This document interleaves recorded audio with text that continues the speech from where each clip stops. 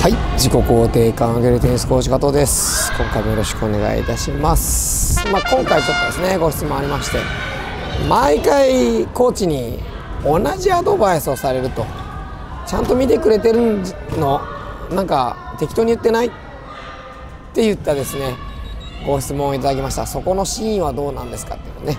はいお答えさせていただきたいと思います、まあ、こちらのチャンネル、えー、35歳以上、え80%以上で構成構成されている80%で構成されています。はい、えー、テニスを一生懸命セカンドライフをエンジョイしようとでも真剣にといった方を中心に、えー、チャンネルで、えー、はい放送いっちゃうな。はい動画上げさせていただきます。よろしければ高評ボタンとチャンネル登録ですね。コメント欄にご意見ご感想ご質問ご要望お待ちしております。はい、えー、では行ってみましょう。まあそのコーチがね同じことを言うと。で、えー、これもやっぱ当たり前ですから大きい声で2パターンあります。あの本当にコーチが適当な場合。で、えー、ほとんどはでもコーチも同じことを言わざるを得ない状況だったりする場合も、えー、あると思うんですよ。でこれどういうことかっていうとうんと例えばそうですね、今だとまあじゃあ、えーまあ、最近ちょっと話題なんですけどオープンスタンスとスケアスタンスね。こう踏んで踏み込む打ち方とこう体こうねオープンでこう打っていくといった打ち方あると思うんですけども、えー、ちょっとね古い教え方のテニススクールだと踏み込むことをこうまずやってからオープンしましょうっていう考え方になってたりするとこも多いんですけどそうじゃない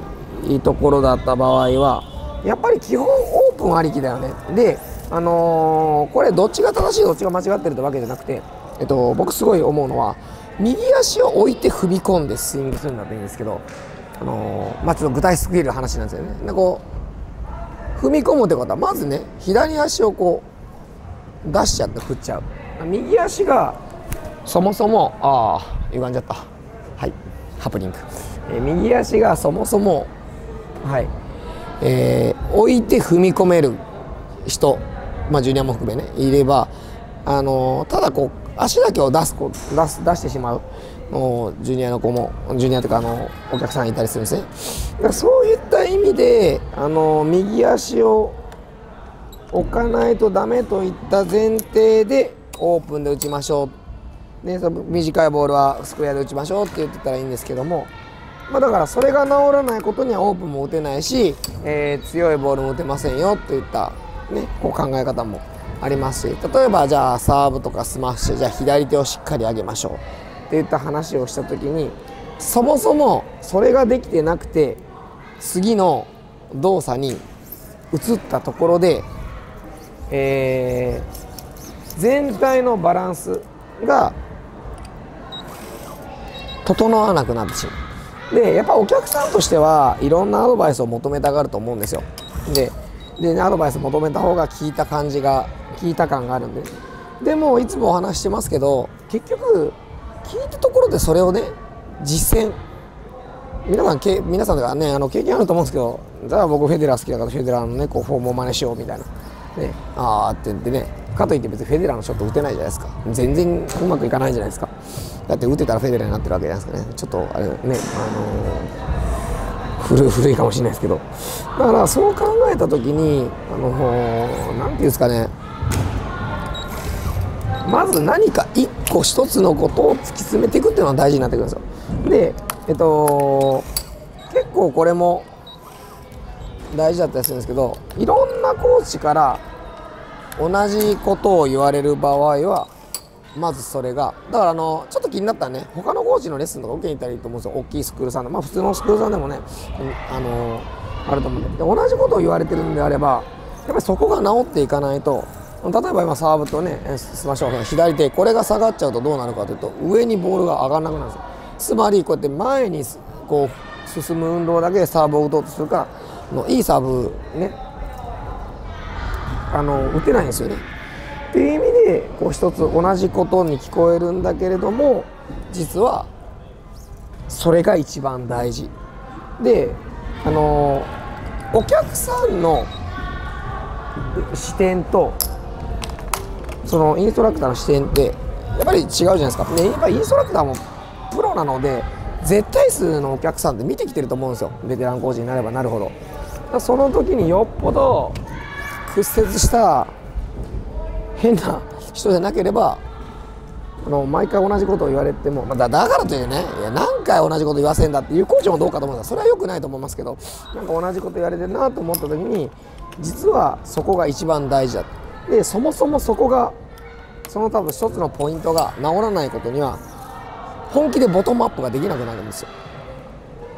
ボレーとかも例えばね、えー、僕もよくお話しするんですけど振ってもいいと別に。振ってもいいけどでも体のこっちで終わるのはおかしいよねって。切ってることになります。でいつもあの他の動画の皆さん握って前に出す。握った握りのを優先して振っていこうとすると絶対にここで止まるんですよ。バックとかもここで止まるんですよ。体のこっち側に行かない。自分の体の半分の横側ここで終わるんですね。なのでそれを考えた時にそもそものそこをやっていかないと例えばじゃあ面をどうやって開くだとかね。どういうふうにボールをこう強く打っていくとか基本が成り立たないとダメなんですね。で多くの人はやったつもりになるし、えー、そこを突き詰めようとしないんですよね。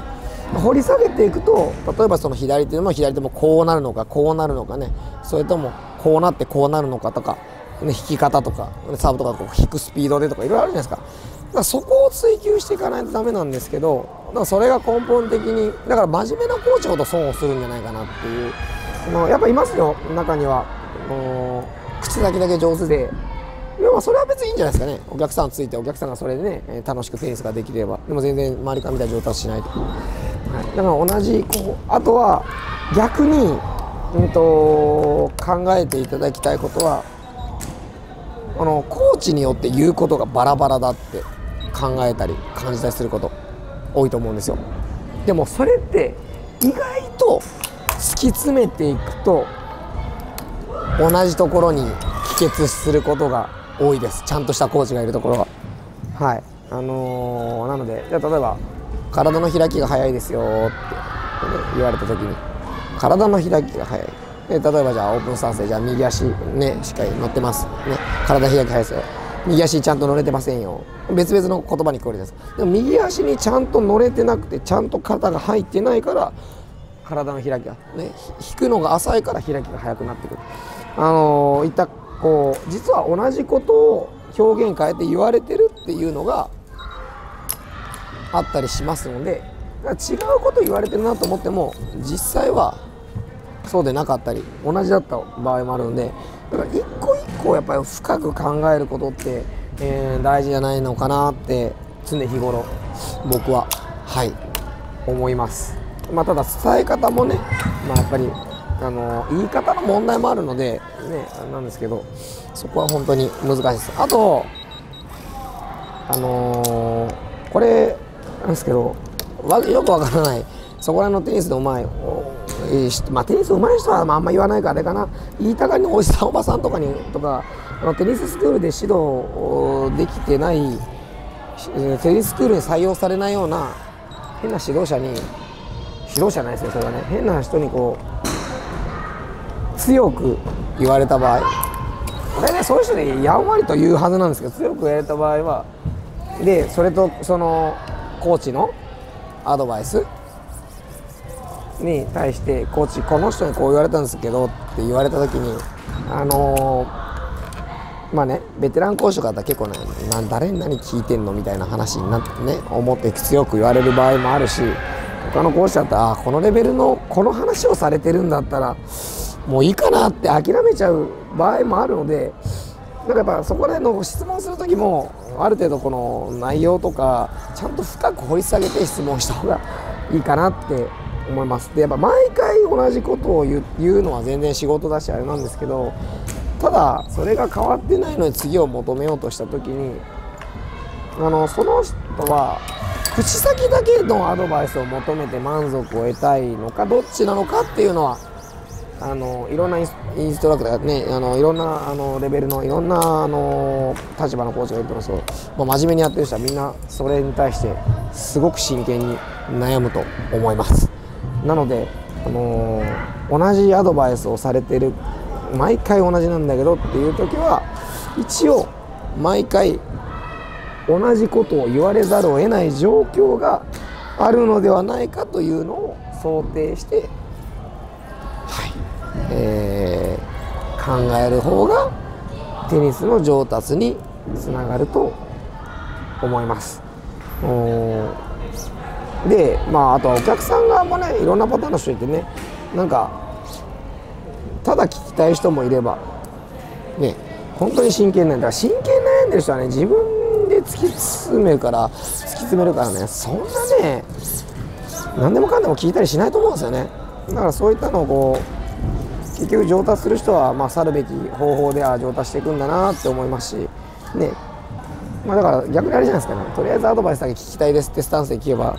いろんなアドバイスはくれると思いますけども僕個人的にはやっぱりねあのー、いろんなね当時あの、コミュニティあったりしますけどやっぱりちょっとでも上達してちょっとでもいいプレーしてちょっとでもテニスが楽しくなるように感じてほしいと思ってレッスンしてるんでそこら辺結構同じこと言われてたっていうのはよっぽどの講師ない限りは深く掘り下げた方が、えー、良いと思います。あとはそのレッスンの時のコーチのその時間配分だから気配りとか目配りもそうだしどんだけ大になっているかっていうのも一つポイントに、えなっていけばいいと思います間違いなく口八丁手八丁で自分の体力を削ってないコーチはまああんまいないと思いますけどの場合は、まあ、その限りかなと思います、まあ、よろしければ。ご参考ください。今日はこれで終わります。どうもありがとうございました。